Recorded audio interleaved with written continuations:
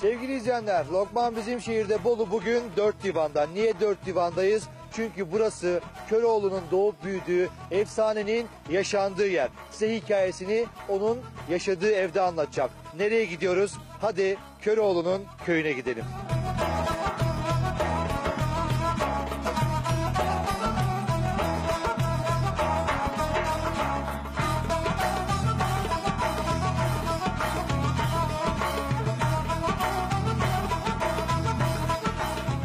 Merhaba. Merhaba. Ee, Seni tanıyalım. Hoş bulduk. Mehmet Aykan abi. Ne iş yapıyoruz? İnşaatçı. İnşaatçı. Ee, kışın oluyor mu inşaat? Yok. Ne zaman? Yazın yazın. Yazın. E şimdi ne yapıyorsun? Şimdi bu işte geziyoruz. Sen de Ağustos böceği gibi yazın çalışıp kışın yiyor musun? Evet evet. Karıncadan biraz ibret almadın mı? aldı aldı. Aldın mı? Peki Ya- nasıl gidiyor? Ya- Yetiyor mu böyle yazın çalışmak Yazın, ya? yazın yiyoruz, kışın yiyoruz. Yazın çalışıyoruz, kışın Evet, yiyoruz. evet. Yetiyor mu bütün kışa? Yetiyor yetiyor. Yaz 3 ay, 9 ay kış. Ol- olsun o kadar hareket yapıyoruz.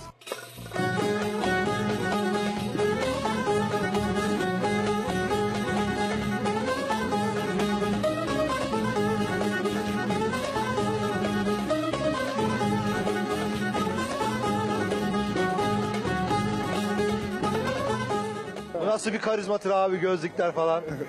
Ne yapalım abi biz de böyle takılıyoruz işte. Böyle mi takılıyor? Nasıl gidiyor işler? İşler güzel abi iyi. Hava Ne iş yapıyoruz abi? Sen bu gözlüğü taktığına göre ağa falansın galiba burada. şey yaptığımız yok. Yok abi ağalık bize mi kalmış ya? ne iş yapıyoruz abi? Bir şey yaptığım yok emekliyiz. Gözlükler yaktı bana versen bir, bir takayım ben de ondan ya.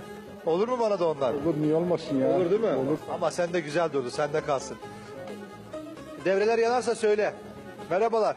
Merhabalar efendim. Sizi tanıyalım efendim. Abdullah ismi. Abdullah abi ne iş yapıyoruz? Reçberlik. Reçbellik yapıyorsunuz. Burada ne ne besliyorsunuz daha çok? Burada en çok e, baş, e, büyükbaş hayvan besleniyor. Var mı süt? Şimdi şu anda bir tanesi sağlıyor. Ne kadar kaç kilo çıkıyor günde? Boğazına verirsen altından alırsın. Öyle ya. Boğazına verirsen altından altından alırsın. alırsın. Tabii o kadar süt çıkar yani dediğim kadar süt çıkar. Verdiğin kadar süt olur. Tabii Vay. yani. Sevgili izleyenler gerçekten hani birçok yere gittim ilk defa böyle güzel bir söz duydum. Üstten verdiğin kadar alttan alırsın diyor. Çok haklı. Ne verirsen hayvan onu üretir değil mi?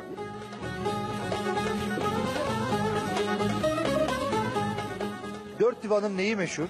Valla burada şimdi panayır zamanı kazı meşhur olur. Ee, patatesi meşhur olur. Kabak çok eskiden çoktu da şimdi o kadar eken yok. Artık millet parayı buldu çok ekmiyor değil mi tarlayı? Evet. Sağlık olsun. Özellikle patates. Özellikle patates. Sevgili izleyenler ne dersiniz? Bolu'ya gelmişiz Köroğlu'nun memleketine. Köyüne gitmeden olur mu? Olmaz tabii. Hadi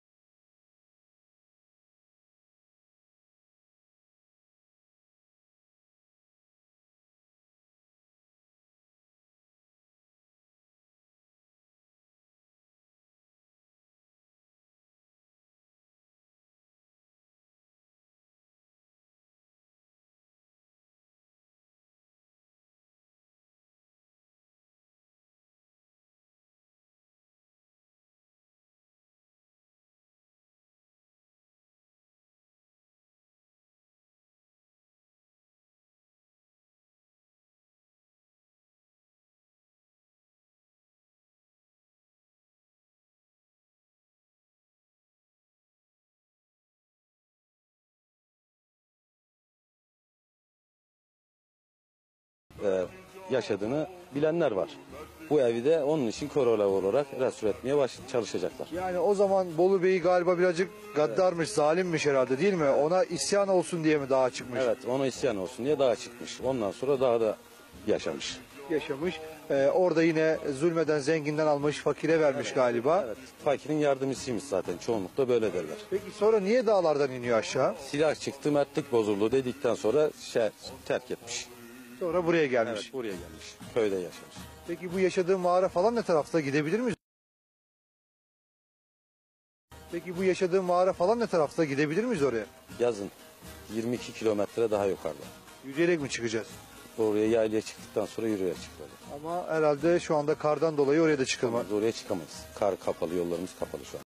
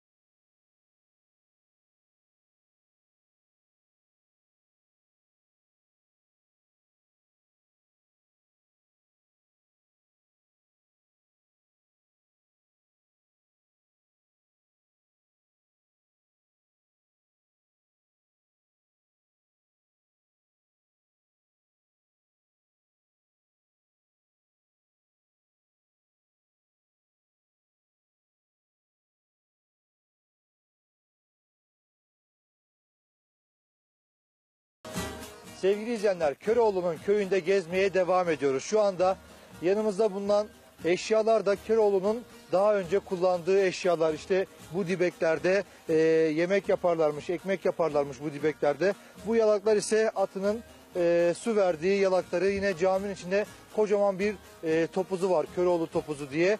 E, bunları daha sonra buraya e, teşhir amaçlı göstermek için e, getirmiş buranın köylüleri. E, Köroğlu diyoruz. Aslında Köroğlu bir efsanedir. Aynı zamanda zulme karşı bir direniştir, bir baş kaldırıdır. İşte Bolu Bey'in e, zulmüne karşı dağlara çıkar arkadaşlarıyla beraber. Daha sonra adalet sağlar. O zulmeden ağalardan topladıklarını e, gelirmiş e, fakir fukaraya, köylülere dağıtırmış. Daha sonra tüfek çıkmış, mertlik bozuldu demiş. Arkadaşlarını e, ne yapmış?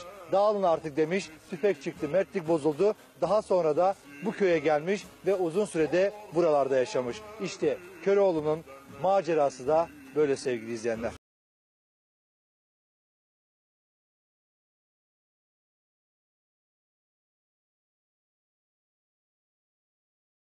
Amcacığım merhabalar. Nasılsınız, iyi misiniz? Verin o mübarek elinizi öpeyim. Sağ olun Allah razı olsun. İsim nedir? Hüseyin Kılıç. Hüseyin amca burada mı yaşıyorsun hep? Burada hep buradayım. Kaç yıldır buradasın? Anamdan doğdum. Sonu buradayım. Köroğlu'yla var mı akrabalık? Bilmek ufakmışım o zaman. belki, belki diyorsun vardır. Evet var. Aynı köyde yaşıyoruz diyorsun. Aynı köyde de. Arkadaki kim? Ye- hanım mı? Hanım. Hanım. O zaman bir hanıma doğru gidelim bakalım. Yenge ne yapıyormuş? Elinde süpürgesiyle yerleri süpürüyor. Orada paçalı tavukları, horozları onlara bakıyor herhalde. Merhabalar. Me- Merhaba, nasıl? Hoş bulduk. Verin o mübarek elinizi öpeyim. Sağ olun Allah Nasılsınız, iyi misiniz? Bin kere şükürler olsun Rabbime. Allah daha Hamdü iyisin. senalar olsun. Ha, İsim nedir? Bir nas.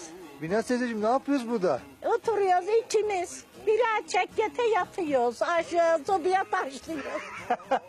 Nasıl soğuk mu burası peki? Acık soğuk tabii. Bir ısıtıcına yakmadık dışını mışını. Yok soba soba da yakamıyorsun değil mi? Soba yakıyoruz. Yakıyor mu? Sobamız yakıyor. yanıyor. Var mı odunları odunları topladı Çok mı? çok. Abu Bekir çok götürdü. Ha, Bekir mi getirdi? E, kim kimin bu tavuklar? Benim işte bunlara ne bakıyorsun? Az önce kovuyordun. E kovuyorsun hadi şuraya sıçrıyorlar da. Buraya mı geliyor pisliyorlar? Peki nasıl gidiyor bu köyde yaşamak? İyiydik, bundan da iyiydik. Bunlar gelirdi. Körüdü böyle götürdüm bize. Hava rüzgar oluyunca ev sallanıyordu ya. hani. Evet. Koca götürdüm böyle. De, yatıverdim hani. Yatmayın, yatmayın. E senin ışığın ne yok derdim. Işık olmasın varsın. Böyle şeye tırna tırna duvarlardan su dökmeye gidiyorum derdi. Senin evini bilemem, ışıklı olsa bile Değil mi? derdi ya. O zaman sana kolay gelsin. Ne yapacaksın şimdi? Ev işlerine mi gideceksin? Size işte yemek yapabileceğim. Yemek mi yapıvereceksin? O zaman ne yapacaksın bize yemek? Ben bilmiyorum kız götürdü diye. Ah, bu anne şuraya hazırla dedi. Ne yapacaksın? Yemek ne yapacaksın? Bilmiyorum kız diye şu kız götürdü de. O yapacıymış ben de. Bak. Tencerem, büncerem. Tencere burada. Yemek yapacaksın bize. Hadi tabaklarını hazırlayıver dedi, hazırlayıver E dedi. hadi o zaman sen hazırlayıver biz de birazcık gezip dolaşalım. Hadi gezin. sağ Hadi görüşürüz. Hadi girin çay için. İçeceğiz içeceğiz birazcık köyü dolaşalım içeceğiz. Tabii tabii evde çay için. Başka bunlarda ne edeceksiniz? Çay yemekten de. Başka ne olsun burada zaten. Tabii tamam. Tamam gezelim geleceğiz. Görüşürüz.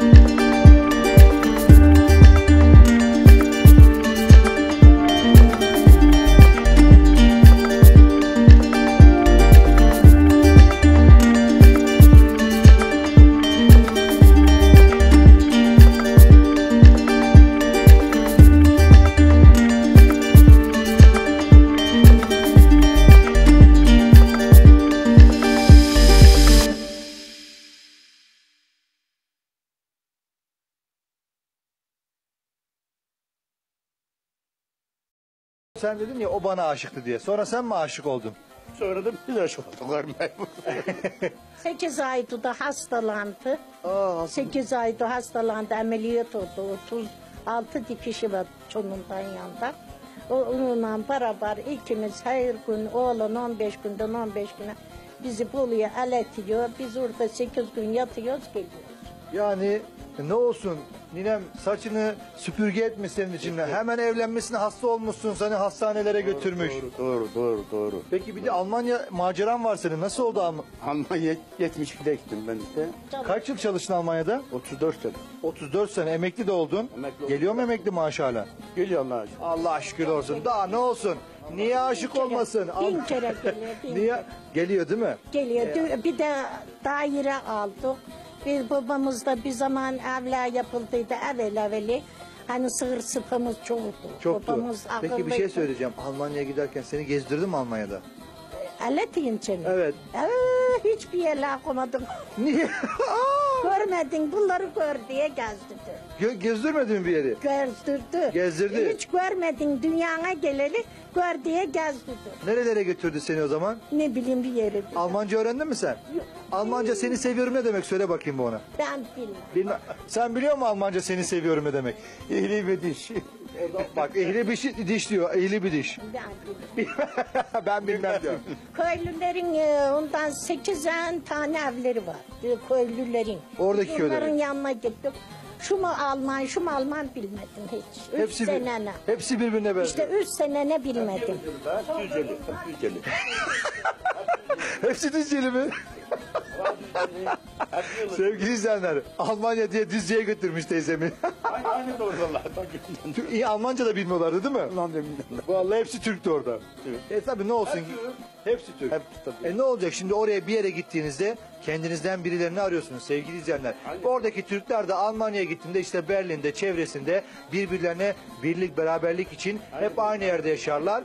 Bazıları Almanca öğren öğrenemiyor bile hatta öyle dönmüşler ama artık yeni jenerasyon maşallah iyi de Almanca konuşuyor. Allah sizi bir yastıkta kocasın e, sağlıklı güzel yaşlar versin. Sevgili izleyenler, Köroğlu köyündeydik. Bu e, güzel amcamla teyzemin e, hikayesini dinledik. Gerçekten çok keyifliydi. E ne yapalım? Lokman bizim şehirde. Bolu tüm hızıyla devam ediyor.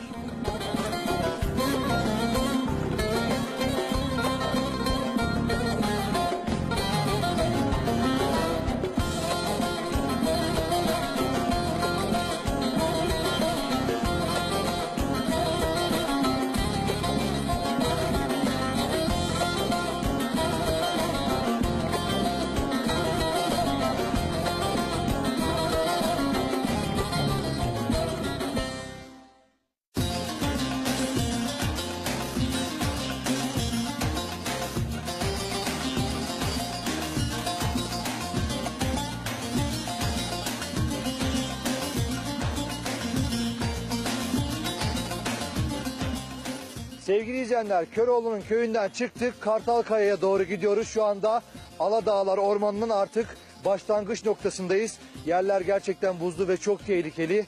Ee, arkadaşlarım da biraz e, karnı acıktı açıkçası. Önce güzel bir tesis bulalım, karnımızı doyuralım. Ardından Kartalkaya'ya doğru devam edelim.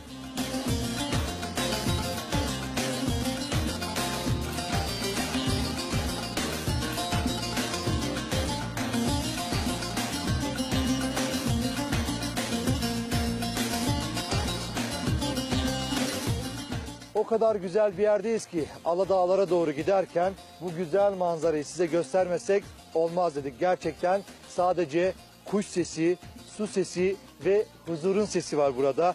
Mükemmel görünüyor. Derede ne güzel böyle sakin sakin artık e, kar böyle yavaş yavaş erimiş ancak daha böyle çağlamıyor. Bu karlar eridikten sonra ben burayı düşünemiyorum.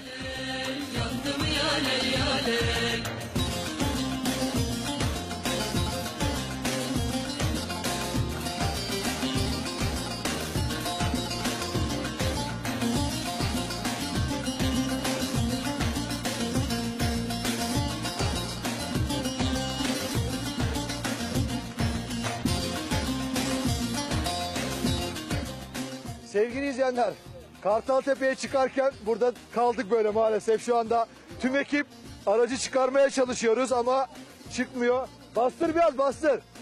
Çıkamayacağız galiba. Yağmur da bir yandan bastırdı. Mithat abi birazcık bas bas bas bas. Bas. Sevgili izleyenler görüyorsunuz boşa dönüyor. Artık buralar buz tutmuş. Bakın yollar o kadar kaygan.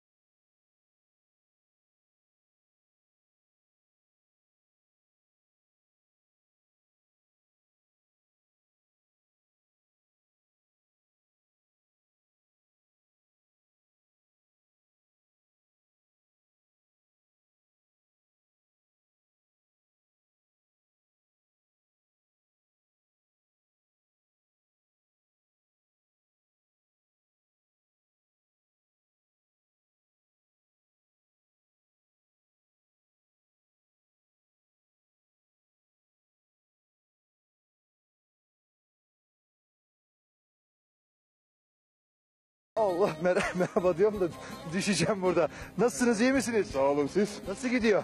İyiyiz valla. Vallahi Kartalkaya'ya çıkamadık biz kardan. Siz de buraya mı geldiniz yoksa? Yok biz buraya her sene geliyoruz. Geçen sene geldik. Bizim kız buradan kaymaya bayılıyor. Çok güzel. Yemekleri de çok güzel. Yemek yiyip geri dönüyoruz. Aa, ne güzel. Dağa gidip kayıp geri geliyoruz buraya. E, o şey buralı mısınız? Yok hayır İstanbul'dayız. İstanbul'dan geldiniz. Ah ne güzel biz de İstanbul'dan geldik. 3-4 gündür dağdayız. Kaydık. Buraya geldik. Şöyle ben bizim fıstığın yanına doğru gideyim bakayım. Merhabalar. Adın ne senin? Ada. Ada çok mu seviyorsun burada böyle kaymayı? Hı hı. Peki keyifli mi çok? Evet. Ee, bak senin için her gün buraya geliyorlarmış her, her zaman. Evet. Peki karla, nasıl e, şu anda bir e, şey mi? Karne tatili mi bu? Hı. Nasıl iyi miydi karne? Evet iyi. O iyi. Bunda ödülü herhalde değil mi? Hı hı. O zaman beraber birazdan kayalım mı tekrar?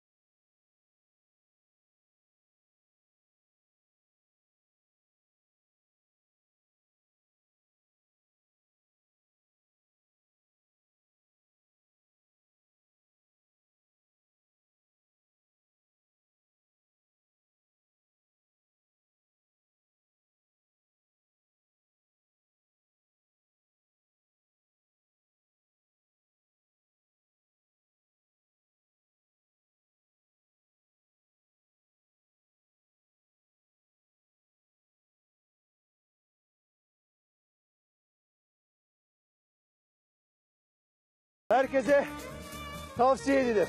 Tamam ben eğlencemi buldum. Kartalkaya gitmemize gerek yok. Zaten araba götürmüyor da bu da bahanemiz olsun. Hadi şimdi biraz içeriye girelim. Bakalım size hangi lezzetler var onları gösterelim. Sevgili izleyenler, madem Kartalkaya'ya çıkamadık, dedik ki bir güzel karnımızı doyuralım. Kartalkaya'ya doğru giderken keyifli bir yere geldik. Burası ormanın içinde muazzam bir yer gerçekten. Ee, dediler ki buranın et sotesi çok güzel olurmuş. Bir de alabalığı. Ancak e, ben et sote yapmayı istedim. O nedenle ustamla bu güzel sofrayı kuracağız şimdi. Usta merhabalar. Merhaba, hoş geldiniz. Hoş bulduk sizi tanıyalım. Ee, Mehmet Güney, 55 doğumlu. Bura açıldığı günden beri burada çalışıyoruz. Şimdi ustam ben böyle üşüyorum. Sen niye böyle kısa kollu çıktın? Yok mu mont falan? Var fakat ben e, sıcağı sevmem. Sıcağı sevmezsin. Evet. E, Böyle mi çıkacağım bu? Hasta olursun. Yok olmam. Kaç yıl kaç yıldır olmadığında şimdi olmam diyorsun. Baksana çok böyle Allah'a şükür e, olmuyorum yani. senin için şey diyorlarmış burada. Kazaklar Federasyonu Başkanı diyorlarmış. Doğru mudur? evet. Niye öyle diyorlar senin için? Hanımımdan korkmadığım için. Hanımından korkmayan taş olur taş. tamam ben öyleyim. Korkmuyorsun. Evet. Korkuyor musun korkmuyor musun? Korkmuyorum. Kenan abi bir gelir misin? Niye siz Kazaklar Federasyonu diyorsunuz efendim? Kazaktır kendisi de o yüzden. Ondan değil mi? Taktır, taş Korkmuyor mu fırın. eşinden? Hayır taş, Taş fırın. Taş fırın. Zaten bu soğukta da maşallah üşümediğine göre helal olsun valla. Abi sizinle sofrayı bir kontrol et. Geliyoruz biz hemen şimdi. Şimdi ne yapacaksın bize usta? Size saç yapacağım. Yalnız benim şöyle bir şey saç kavurmada eti bir önceden bir haşlamışsın. Daha önce haşlanmıyordu ama Evet. Pişiye, şey, pişmeye dedi müşteriler. Biraz öyle çözüm bulduk biz. Biraz önce önce bir haşlayıp ardından mı kızartıyorsun? evet ondan sonra Ne giriyor şimdi senin bu saç tabana? soğan, domates, biber, sarımsak. Üzerine kekik döküyoruz sonra. Dünyanın en pratik yemeği sevgili izleyenler. Tarifini veriyoruz. Önce tereyağıyla böyle bir güzel. Oh. Bu sıcakta da nasıl eridi hemen böyle ya usta? Halis Morris tereyağı herhalde bu. Evet. Yayla tereyağı. Yayla tereyağı. Şimdi ne yapıyoruz? Domatesini, sal, biberini doğrayacağız.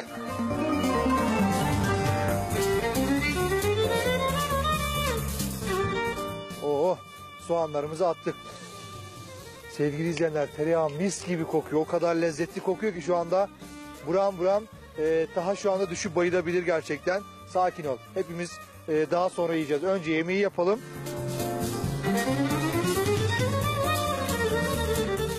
Peki evde yenge mi yapar yemeği sen mi yaparsın? Hanım yapar. O kadar kazağım diyorsun ya. Boşuna kazak demiyorlar diyorsun ya. O ne yapar peki yengenin en iyi yaptığı yemek hangisi? Ne yaparsa yerim ben. Severim hepsini.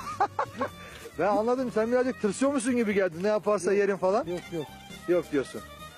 E, Soğanla sarımsakları direkt olduğu gibi mi açacaksın yoksa keseceğim mi onda? Keseceğim.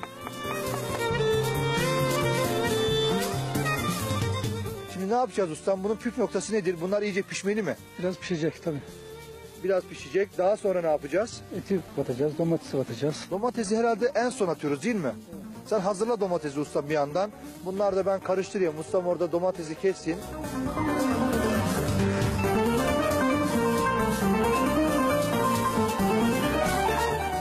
Gerçekten eee, tabiat harikası bir yer burası. Eee, mükemmel, devasa eee, çam ağaçlarının, eee, çınar ağaçlarının içinden geliyorsunuz buraya. E, yol birazcık karlı ama bu mevsimde gelirseniz böyle. Aynı zamanda e, baharda gelirseniz inanın e, tabiatın tüm renklerini, yeşilin tüm tonlarını burada e, görmek mümkün. E, Bolu bu anlamda e, çok bakir ve harika bir yer diyebilirim sizin için. E, hangi mevsimde gelirseniz gelin Bolu mükemmel görünüyor. Oh oh oh. Sar ver. Evet usta ver ben karıştırayım usta sen domatesleri hallet.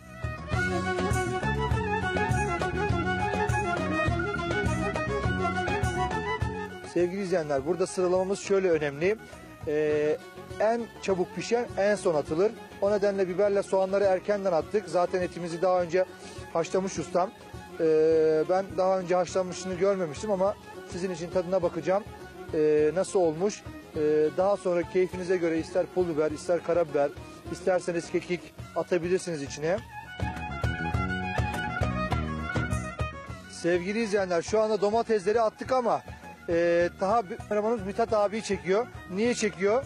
İşte görüyorsunuz bu ilginç görüntü var. E, soğuktan ve e, hafif yağmur var. Ondan korumak için e, böyle bir yönteme başvurmuş. E, cefakar, vefakar arkadaşımı e, buradan cani gönülden tebrik ediyoruz. Kutluyoruz onu da. Şimdi nedir ustam sonumuz? Tuz atıyoruz. Olmazsa olmazımız. Az atalım usta. Fazla tuz zararlı. Değil mi? Buradan sosyal mesajı da verelim. Karıştıralım ustam. Benden olur mu sence usta ya? Bu kadar gördüm bak. Anlıyor muyum biraz bu işten? Olur çok iyi olur. olur mu? Yardımcı falan lazımsa geleyim. Vallahi Kenan Bey'e söyleyeceğim. O şimdi masayı hazırlıyor.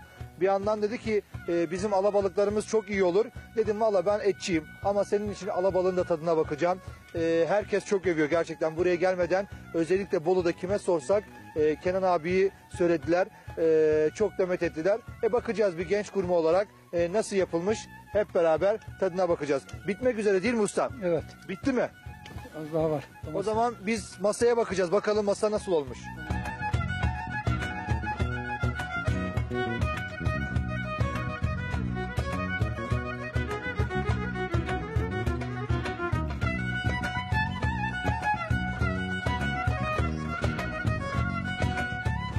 Merhabalar. Hoş geldiniz. Hoş bulduk. Vallahi çok güzel bir sofra olmuş. Afiyet olsun sağ Ee, olun. Öncelikle bir sizi tanıyalım. Kenan Özcan, işletmecisiyim buranın ben. 16 yıldır burada hizmet veriyoruz. Ailecek hizmet veriyoruz. Ne güzel. Vallahi çok güzel bir tesis. Özellikle de İstanbullular çok geliyor buraya. Evet, İstanbul, Ankara, yurt dışı bayağı bir talep var yani çok şükür. Şimdi e, gerçekten hani e, ben çam ağaçları beyaz montlarını giydi dedim. Acaba e, baharda gelsek bu doğa nasıl görünecek burada çok merak ediyorum. Yeşili iç içe göreceksiniz bol bol. Derelerimizi göreceksiniz. Ee, Mayıs çiçeklerini göreceksiniz. Ağustos çiçeklerini göreceksiniz. Yani doğada hayal ettiğiniz birçok şeyi göreceksiniz yani. Peki şimdi şöyle güzel bir soframız var. Siz alabalıklarınızı çok övdünüz. Ee, Bolu'da da gerçekten çok anlattılar. Ne özelliği var? Ben gerçekten açıkçası sevgili izleyenler e, tatlı su balığı çok seven birisi değilim. Çünkü bana birazcık saman gibi geliyor. Özellikle hani böyle havuzlarda yetişenleri yemiyorum. Ee, ben biraz daha denizci ve okyanus balığı seviyorum. Ee, ne özelliği var da bu kadar çok övdüm bu balıkları? İşte suyundan özellikle suyundan. Bölgedeki su alabalığı çok güzel bakıyor. Bir de biz balığı hiç yem atmıyoruz. Kesinlikle yiyebileceği hiçbir şey atmıyoruz. Dereden suyun içinden bunun ihtiyacı olan zaten geliyor. Balık yavaş yavaş yavaş yavaş 7 ayda büyüyor. Özellikle bu dönemde kar suyunu da tamamen yedi. Birazdan yedikten Kar, sonra kar zaten- suyunda yiyince başka bir yağlandı mı balık başka oluyor değil mi? birazdan yedikten sonra da ne demek istediğimi daha iyi anlayacaksınız. Şimdi sevgili izleyenler diyebilirsin ya sen genç gurme lokmansın bir yandan saç tava bir yandan kiremitte e, mantar doğal mantar bir yandan balık ya böyle zevksizlik olur diye bakmayın tamamen tadına bakacağız buradaki lezzetleri test edeceğiz bir yandan. E, peki ustam e, erişte biraz ondan bahsedebilir miyiz? Yöresel bir üründür. Keşli cevizli erişte makarnası diyoruz. Önce keş nedir? Kurutulmuş yoğurt. Bolu bölgesine, Kastamonu bölgesine has bir ürün. Köylü tarafından yapılır. Bu eee, keş el kesimidir. Eee, evde yapılan fabrika ürünü değildir.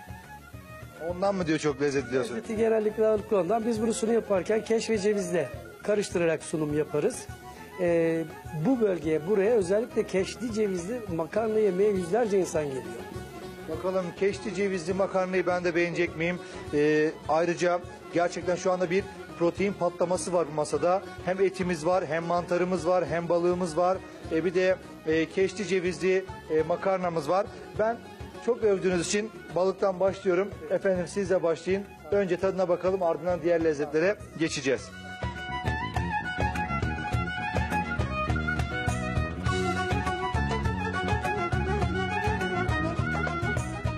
Vallahi ustam dediğin kadar var.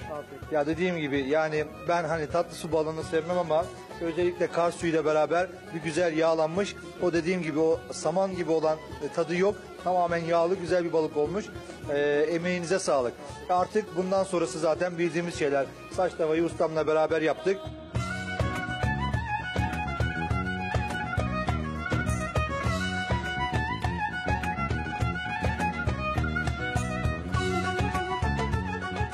Harika.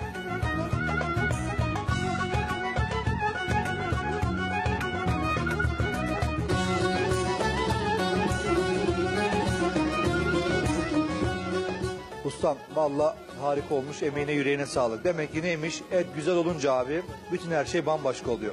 Çok teşekkürler bizi ağırladığınız için. Teşekkür ederim. Ayaklarınıza sağlık. Çok teşekkür ederim. Çok sağ Çok olun. sağ olun. Sevgili izleyenler artık programın sonuna geldik. Bugünlük de bizden bu kadar. Tekrar görüşünceye dek. Hoşçakalın.